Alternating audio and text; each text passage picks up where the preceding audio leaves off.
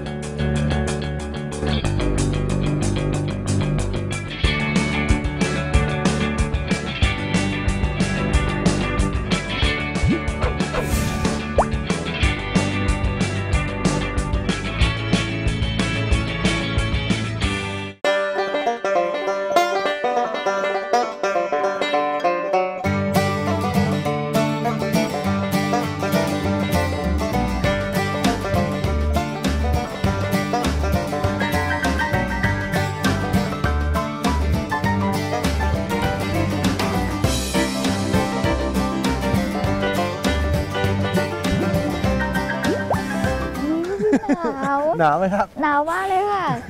สวัสดีครับคุณผู้ชมครับ สวัสดีค่ะ พบกับรายการไซ e ์ไกด์ท่องเที่ยวเพลินใจให้วิทยาศาสตร์ และเทคโนโลยีนำทาง วันนี้นะคะ เราสองคนมาอยู่ท่ามกลางบรรยากาศสวยๆ อากาศหนาวๆเย็นสบายๆที่ ปางอุ๋งจังหวัดแม่ฮ่องสอนครับ ค่ะ ที่นี่ปางอุ๋งหรือว่าโครงการพระราชดำริปางตองสองนะคะ ซึ่งเป็นโครงการในพระราชดำริของพระบาทสมเด็จพระเจ้าอยู่หัวนะคะ ที่ทรงมีพระดำรินะคะ ให้รวบรวมรัษฎรกลุ่มน้อยที่อยู่บริเวณนี้นะคะ แล้วก็พัฒนาความเป็นอยู่ มีการปลูกป่าสร้างอ่างเก็บน้ำสร้างอาชีพนะคะ เพื่อให้รัษฎรกลุ่มนี้นะคะ มีความมั่นคงอย่างยั่งยืนนั่นเองค่ะ รวมถึงได้มีการ ดูแลอนุรักษ์ทรัพยากรผืนป่าบริเวณนี้ด้วยค่ะคุณผู้ชมครับ ตอนนี้เราอยู่กันที่อ่างเก็บน้ำที่ปางอุ๋งนะครับ มองไปไกลๆเนี่ยคือน้ำใสเหมือนเป็นกระจกที่สะท้อนต้นไม้เขียวสวย อากาศดีเข้าไปอีก โอ้ยอยากให้คุณผู้ชมมาอยู่กับพวกเราจริงๆเลยครับที่นี่ ใช่เลยล่ะค่ะ และสิ่งที่เราได้พูดไปนะคะ เหมือนเป็นเสน่ห์ของปางอุ๋งเลยทีเดียว มาถึงที่นี่แล้วนะคะ ต้องขอถ่ายรูปให้เห็นแบบแสงทองๆสวยๆเห็นเงาสวยๆบนน้ำนี่เลยมีหมอกด้วยอืมสวยงามจริงมาถ่ายเลยดีกเอายัว่างมาเอาเลยค่ะๆถ่ายพี่ก่อนอืมโอเคได้ได้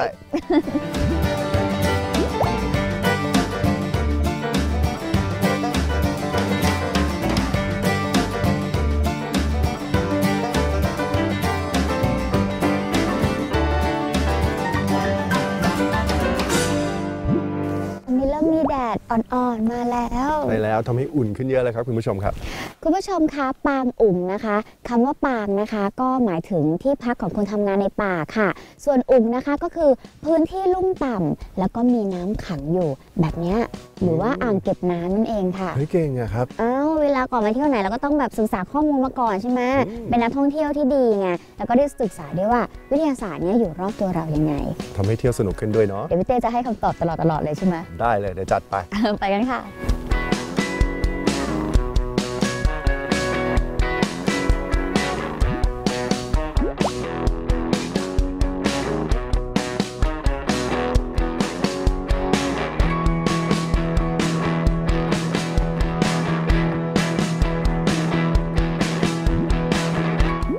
สองคนก็มาอยู่ในแหล่งสุขภาพและความสวยงาม ตอนนี้เราอยู่ที่ภูโคลนนั่นเองค่ะ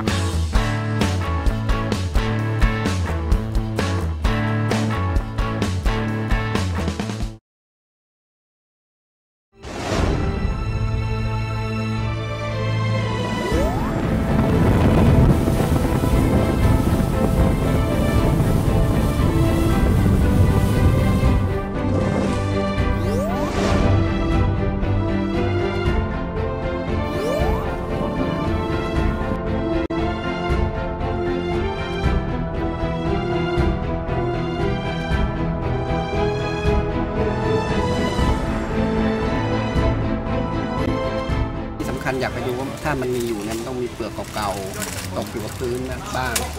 ก็หาหลักฐานก่อนใช่ไหมถ้ามันยังพอมีเปลือกอยู่แสดงว่ามันยังยังไม่สูญพันธุ์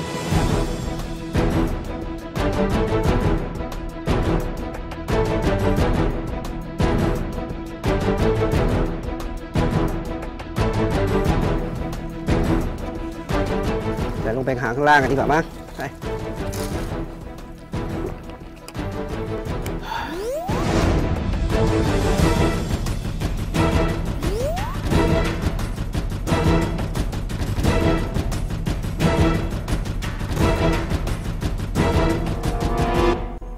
อยมรกตเป็นพวกที่ออกหากินกลางคืน เพราะฉะนั้นเวลาเราจะหาหอยมรกตเนี่ยนะเราต้องออกมากลางคืนเช่นเดียวกัน เดี๋ยวเราลองไปดูกันว่ามันเป็นไงนะครับ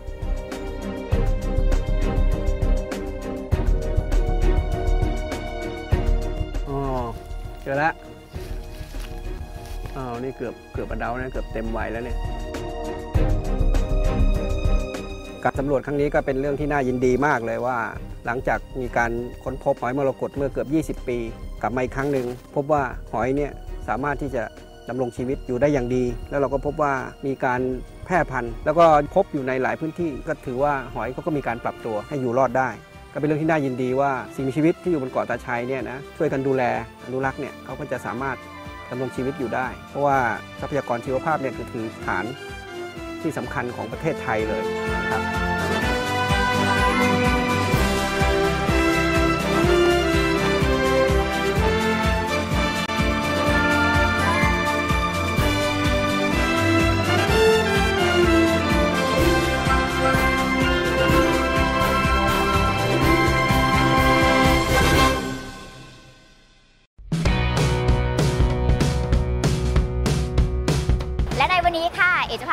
นะคะ ไปท่องเที่ยวประเทศที่อยู่ไม่ไกลจากประเทศไทยของเราค่ะ เป็นประเทศยอดฮิต มีเวลาเพียงน้อยนิด แล้วก็สามารถบินไปได้เลยนะคะ และที่นี่ก็คือฮ่องกงนั่นเองค่ะ และตอนนี้เราก็มาถึงฮ่องฮ่องกกงงดิดิสสนีนีย์ย์แลแลนนด์ด์ เราไปลองเล่นเครื่องเล่นเหล่านั้น แล้วดูว่าข้างในเนี่ยมีอะไรที่เราสามารถใช้วิทยาศาสตร์ และเทคโนโลยีเป็นตัวอธิบายได้บ้าง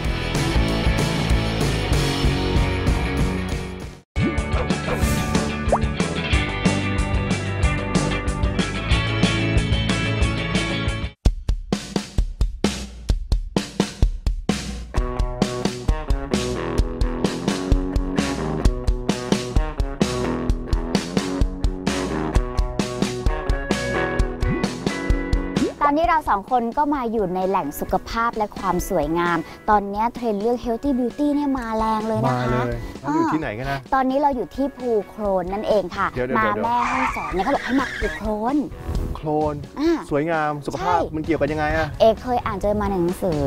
ยังไงเห็นครับรูปมาเยอะเลย เขาใช้โคลนธรรมชาติของที่เนี่ยนะคะ พอกหน้าพอกตัว แล้วทำให้ผิวพรรณเนี่ยสดใสเปล่งปลั่งมีน้ำมีนวลอ่ามีหน้าทำไมถึงชวนมาที่นี่ ใช่แล้วค่ะ แต่ว่าสงสัยอย่างหนึ่งยังไงครับ ตอนนี้เรายืนอยู่หน้าบ่อโคลบ่อนโคลนอะแต่ที่เห็นอยู่ตรงนี้เนี่ยเป็นเหมือนน้ำร้อนเป็นเหมือนน้ำแร่อะไรแบบเป็นเนี้ยบ่อน้ำร้อนเลยแหละอะแล้วโคลนอยู่ตรงไหนคะผมว่านะ เดี๋ยวเราไปหาคำตอบกันว่าโคลนอยู่ตรงไหนแต่ให้เดานะค่ะคืออยู่ใน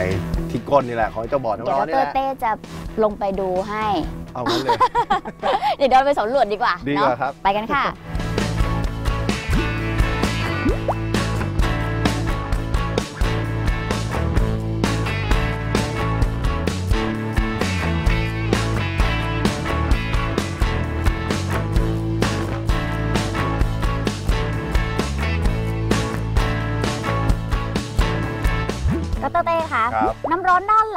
เนี่ยค่ะเกิดขึ้นมาได้ยังไงคะ ต้องย้อนกลับมาก่อน ว่าตอนเนี้ยเรายืนกันอยู่เปลือกโลกถูกไหมค่ะ ใต้เปลือกโลกลงไปก็จะมีเนื้อโลก อืม แล้วก็จะมีแก่นโลกอยู่ตรงค่ะ กลางเลย ที่ร้อนมากร้อนมากๆค่ะๆเวลาที่น้ำจากเปลือกโลกเนี่ยช้อนชัยลงไป ไปสัมผัสความร้อนจากหินละลายที่อยู่ในบริเวณส่วนของเนื้อโลกเนี่ยแล้วถ้าน้ำเหล่านั้นมันถูกดันกลับขึ้นมาเนี่ยมันก็จะมีความร้อนสูงติดขึ้นมาด้วย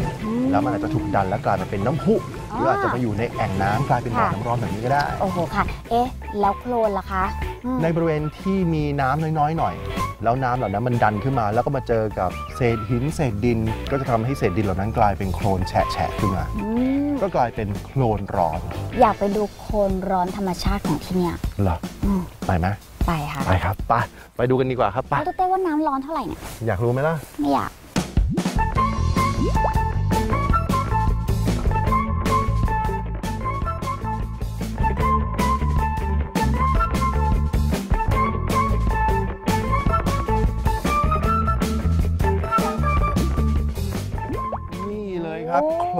ตักกันขึ้นมาจากบ่อเลยครับบ่อโคลนเลย ใช่แล้วเนื้อเนื้อเน้นเน้นๆเลยนะคะเนี่ยครับ ว่าแต่เราเอามาทาหน้าทาตัวได้เลยหรือเปล่าคะโอ้ยยังยังยังยังไม่แนะนำนะครับ เพราะว่าสิ่งปลอมปนนี้ยังไม่ได้ถูกกำจัดเลย จะต้องไปผ่านกรรมวิธีในการจะเอาสิ่งปลอมปนเหล่านั้นออก เพื่อจะได้ไม่เป็นอันตรายต่อสุขภาพผิวของเรา อ๋อที่เราเห็นว่าเขานำมาพอกหน้าพอกตัวไม่ใช่โคลนสดๆแบบนี้ไม่ใช่ไม่ใช่ไม่ใช่เป็นอีกแบบหนึ่งอีกแบบหนึ่งจะเนื้อระมุนมีแร่ธาตุอะไรยังไงบ้าง เดี๋ยวไปดูกันดีกว่าไปดูครับไป ค่ะเดี๋ยว คืนนี้ก่อนนะคืนก่อน อันนี้ใช้ไม่ได้อันนี้เดี๋ยวต้องผ่านกรรมวิธีก่ใช่อน ใช่ใช่ไป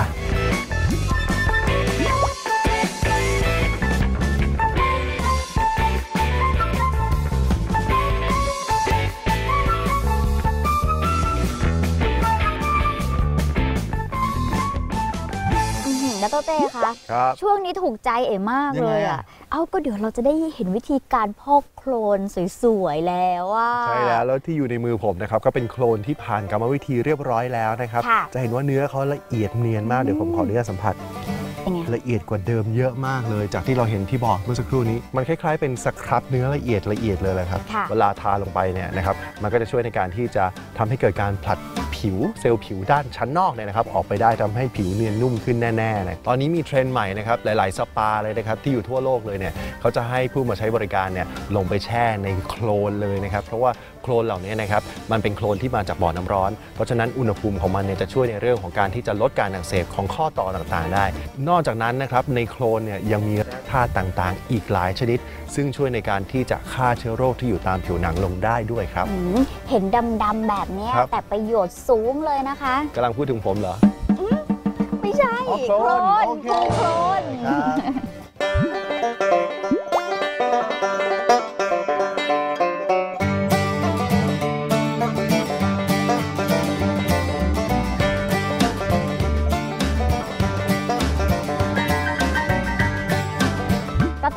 คะครับ เอกขอกลับก่อนนะคะเอ้าจะไปที่ไปไหนแล้วนี่ไปเอาถุงอะไรของใครมาเนี่ย นี่โอ้ยเอกไปช้อปปิ้งมา ช้อปปิ้งมาถึงแหล่งต้นกำเนิดของโคลนธรรมชาติแล้วเนี่ย โอ้โห ไม่ซื้อกลับไม่ได้ค่ะ ได้อะไรมาบ้างอะครับ signature เลย sig nature เลยอะนี่นี่อันนี้ ช่วยถือไหมอะนี่พอกหน้าพอกหน้า พอกโคลนเลยนะคะโคนเนี่ยอ่า ธรรมชาติเลยเนี่ยเยี่ยมมากเลย นี่โลชั่นเขาก็มีอะ โลชั่นก็มีนะคะ นี่นะคะยังมีน้ำแร่นะคะน้ำแร่อ่าอะมีครีมล้างหน้ามีโฟมด้วยนะคะล้างหน้าอ่ามีนี่ค่ะโอ้ครีมอาบน้โอ้โหำมีเม็ดบีดด้วยขัดตัวทุกด้วยอย่างมาจากโคลนหมดเลยผลิตภัณฑ์เขามีขอคืนด้วย ได้แล้วมีของที่มันกินได้ไหมอะของกินได้ก็มีนะคะคุณผู้ชมคะมาถึงที่นี่แล้วไหนนะขอคะดูหน่อยนี่ค่ะโอ้ยไข่ต้มค่ะ แต่ไม่ครับใช่ไข่ต้มธรรมดาเป็นไข่น้ำแร่โอ้โห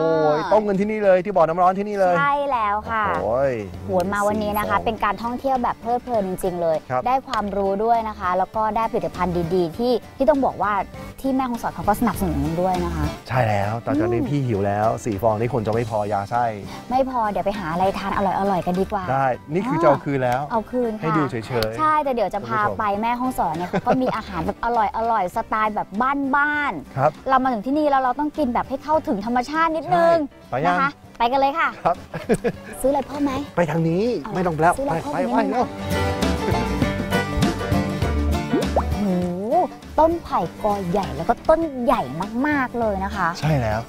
น้องเอ๋คุณผู้ชมครับ เชื่อไหมว่าไผ่เนี่ยเป็นพืชที่อยู่ในวงเดียวกับหญ้า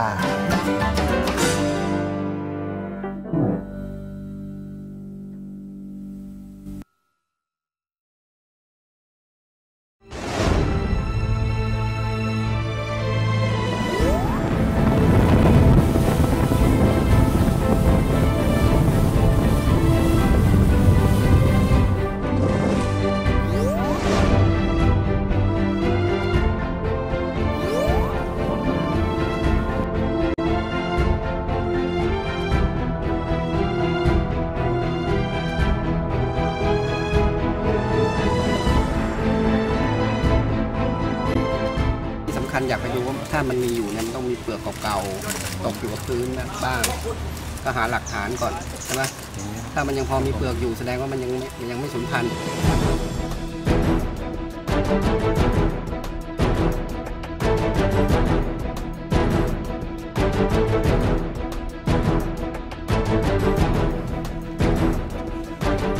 แต่ลงไปหาข้างล่างกันดีกว่ามั้ง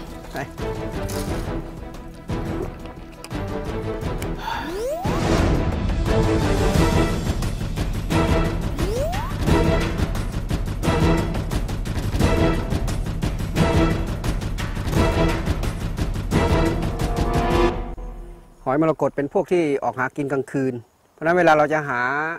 หอยมรกตเนี่ยนะเราต้องออกมากลางคืนเช่นเดียวกัน เดี๋ยวเราลองไปดูกันว่ามันเป็นไงนะครับ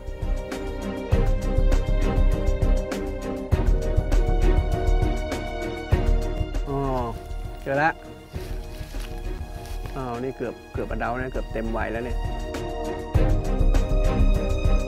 การสำรวจครั้งนี้ก็เป็นเรื่องที่น่ายินดีมากเลยว่า หลังจากมีการค้นพบหอยมรกตเมื่อเกือบ 20 ปี กลับมาอีกครั้งหนึ่งพบว่าหอยเนี่ยสามารถที่จะดำรงชีวิตอยู่ได้อย่างดี แล้วเราก็พบว่ามีการแพร่พันธุ์ แล้วก็พบอยู่ในหลายพื้นที่ ก็ถือว่าหอยเขาก็มีการปรับตัวให้อยู่รอดได้ ก็เป็นเรื่องที่น่ายินดีว่าสิ่งมีชีวิตที่อยู่บนเกาะตาชัยเนี่ยนะช่วยกันดูแลอนุรักษ์เนี่ยเขาก็จะสามารถดำรงชีวิตอยู่ได้ เพราะว่าทรัพยากรชีวภาพเนี่ยก็คือฐานที่สำคัญของประเทศไทยเลย ค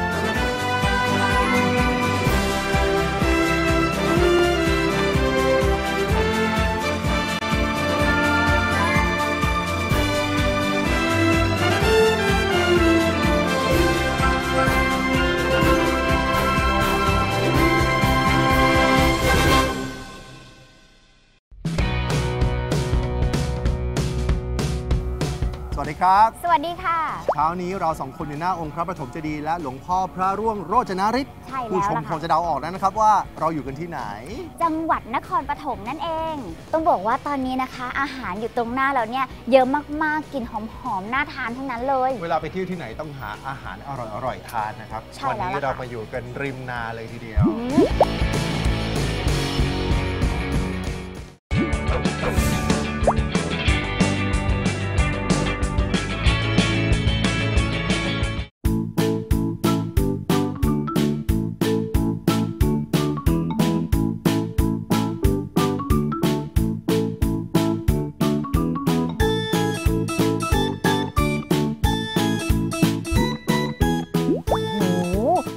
ต้นไผ่กอใหญ่แล้วก็ต้นใหญ่มากๆเลยนะคะ ใช่แล้ว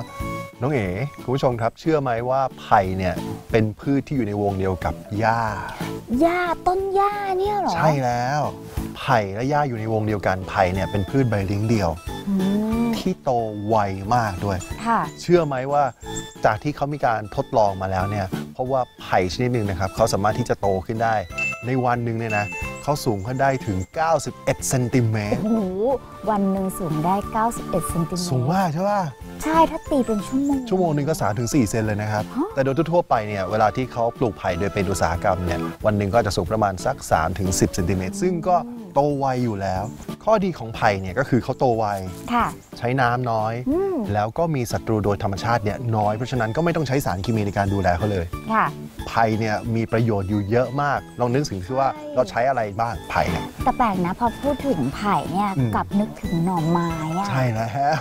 นี่นึกถึงของกินก่อนเลยใช่ไหมใช่ใช่เพราะฉะนั้นหน่อไม้ซึ่งเป็นส่วนหนึ่งของไผ่ก็ใช้ในการกินใช้อะไรได้อีกมาทำเป็นเฟอร์นิเจอร์เฟอร์นิเจอร์นำมาเป็นโครงสร้าง ใช่เวลาที่มีการก่อสร้างก็จะมีการอาจจะใช้ต้นไผ่เองเป็นตัวโครงสร้างเองค่ะหรือทำเป็นนั่งร้านในการที่จะสร้างโครงสร้างขึ้นมา แล้วเชื่อไหมนอกจากสิ่งที่เราคุ้นเคยแล้วเนี่ย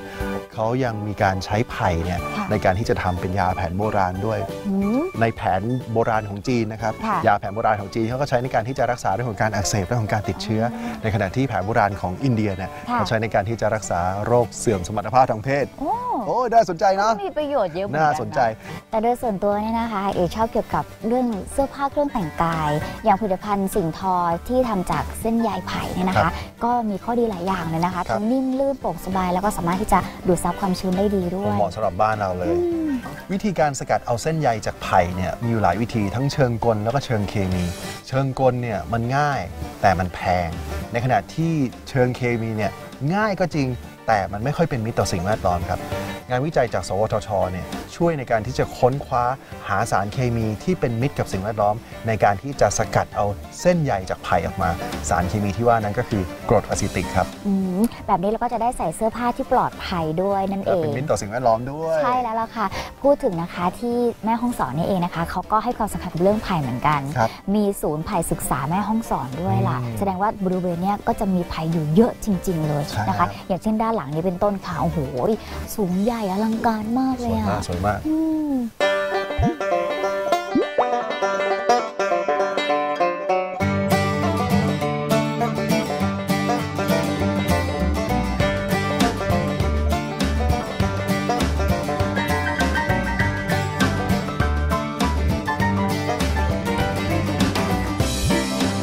โอ้โห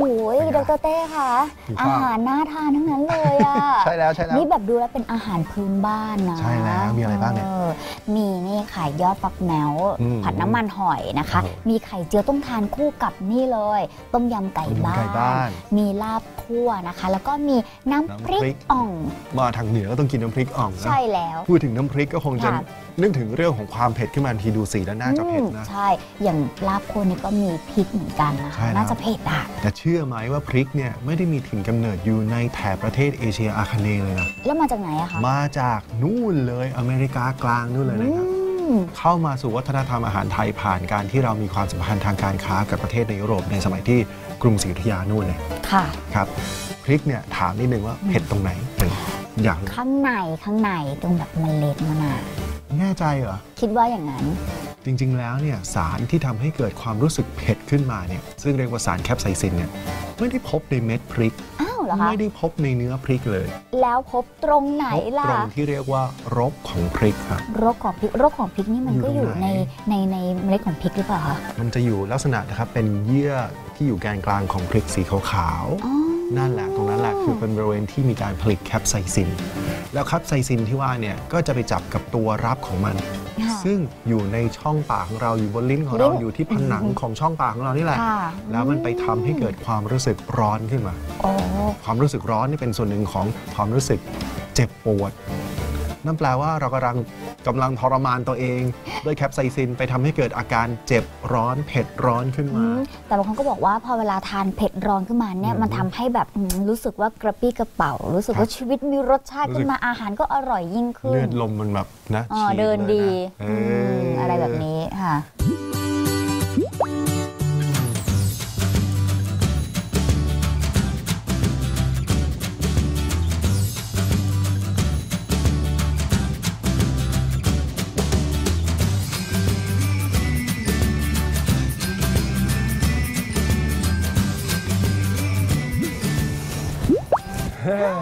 สดชื่นจังเลยสดชื่นจริงๆครับคุณผู้ชมครับที่ปางอุงแห่งนี้นะครับนอกจากจะมีความสำคัญทางด้านชลประทานแล้วเนี่ยยังเป็นแหล่งท่องเที่ยวเชิงนิเวศที่สำคัญและสวยงามอีกด้วย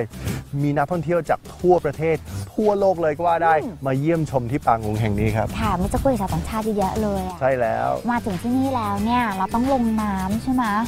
น้ำเย็นเจี๊ยบเลยนะ อากาศก็หนาวด้วยลงไม่น้ำได้เหรอให้ลงไปว่ายน้ำยังไงอะเดี๋ยวเราจะลงแพกันลงแพอ่าเอาเหมือนแบบเลยในภาพโปสการ์ดไงเวลาเราถ่ายก็ถ่ายรูปปังอุ๋งมาจะเห็นแบบแพด้วย เรามาถึงที่นี่แล้วเดี๋ยวเราไปลงแพกันดีกว่าค่ะไปด้วยกันครับ ไปค่ะ